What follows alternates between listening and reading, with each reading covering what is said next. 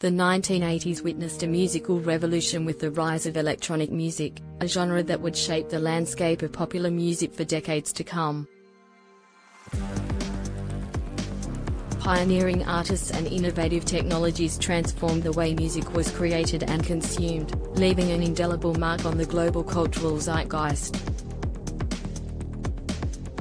Electronic music, driven by synthesizers, drum machines, and digital recording techniques, presented a futuristic and experimental sound that resonated with a generation hungry for new sonic experiences. The accessibility of these electronic instruments allowed musicians to push the boundaries of creativity, forging a path that transcended traditional genres. One of the most significant impacts of 80s electronic music was its influence on the dance music scene.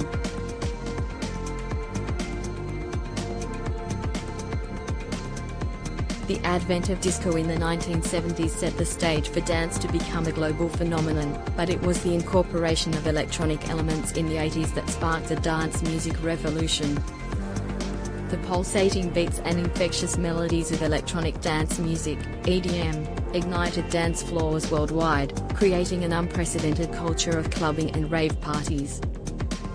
The emergence of house music, a subgenre of electronic dance music, can be traced back to the Chicago club scene in the early 80s.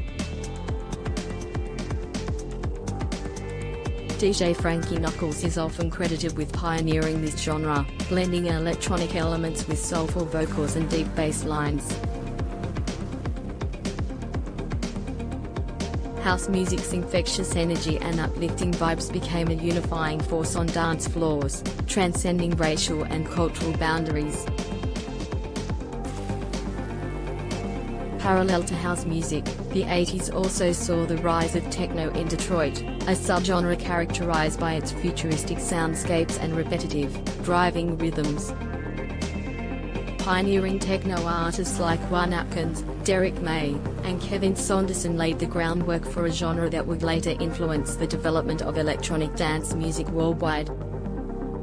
Simultaneously, the 80s witnessed the birth of synthpop, a fusion of electronic music and pop sensibilities that dominated the airwaves. Bands like Depeche Mode, New Order, and Duran Duran embraced synthesizers and drum machines, crafting catchy and accessible songs that appealed to a broad audience. Synthpop's influence on mainstream music extended well into the 90s and beyond.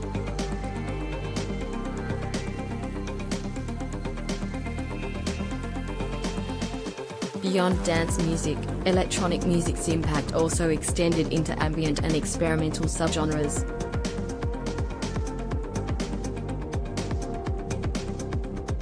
Brian Eno's ambient works and the rise of industrial music, with bands like Throbbing Gristle and Nine Inch Nails, challenged conventional notions of musical composition and paved the way for a new era of sonic exploration.